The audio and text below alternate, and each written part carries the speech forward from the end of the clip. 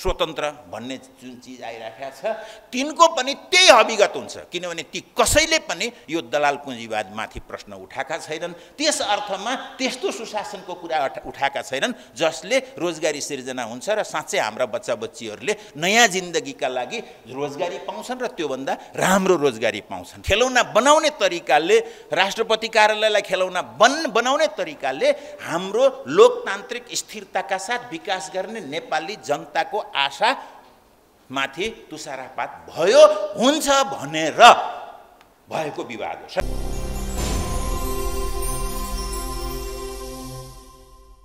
न्यायालय स्वयं न्यायालय किन्ने न्यायालयको संरचना र यसको फङ्सनिङ किन्ने त्यसलाई अवरुद्ध पार्ने।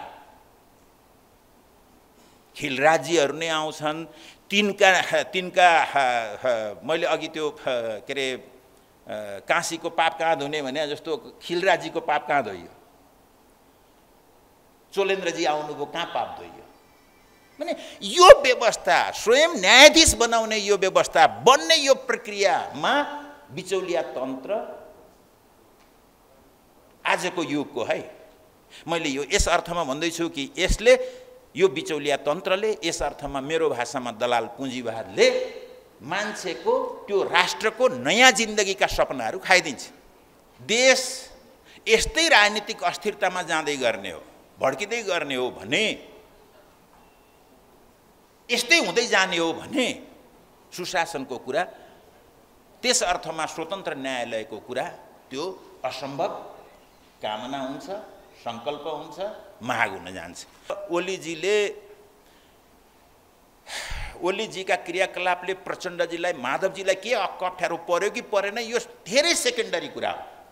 ओलीजीका क्रियाकलापले त्यो बाटोले संसद विघटन गर्ने तरिकाले त्यसमार्फत संविधान हान्ने तरिकाले त्यसमार्फत के अरे संसदलाई चाहिँ खेलौना बनाउने तरिकाले राष्ट्रपति कार्यालयलाई खेलौना बन बनाउने तरिकाले हाम्रो लोकतान्त्रिक स्थिरताका साथ विकास गर्ने नेपाली जनताको आशा माथि तुसारापात भयो हुन्छ भनेर भएको विवाद हो। सैद्धान्तिक रूपमा भन्ने हो भने त्यतिखेर पार्टीको विवाद के विवाद हो भन्दा यो विवाद हो।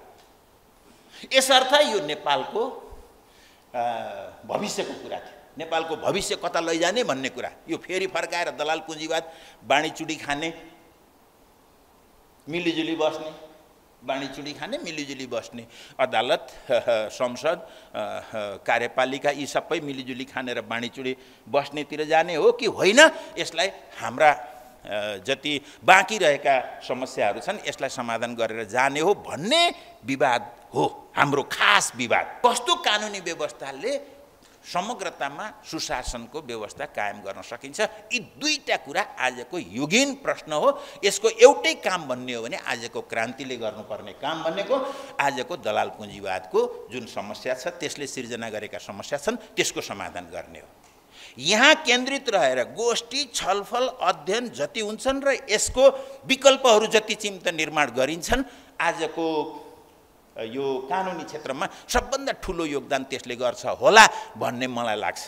अहिले उठेको चिम यो जुन राजनीतिमा नयाँ भन्ने चिज आइराखेको छ स्वतन्त्र भन्ने जुन चिज आइराखेको छ तिनको पनि त्यही अभिगत हुन्छ। किनभने ती कसैले पनि यो दलाल पुँजीवादमाथि प्रश्न उठाएका छैनन्। त्यस अर्थमा त्यस्तो सुशासनको कुरा उठाएका छैनन् जसले रोजगारी सिर्जना हुन्छ र साँच्चै हाम्रा बच्चा बच्चीहरूले नयाँ जिन्दगीका लागि रोजगारी पाउँछन् र त्योभन्दा राम्रो रोजगारी पाउँछन्। यसतर्फ तिनीहरूका पनि मुद्दा केन्द्रित छैनन्।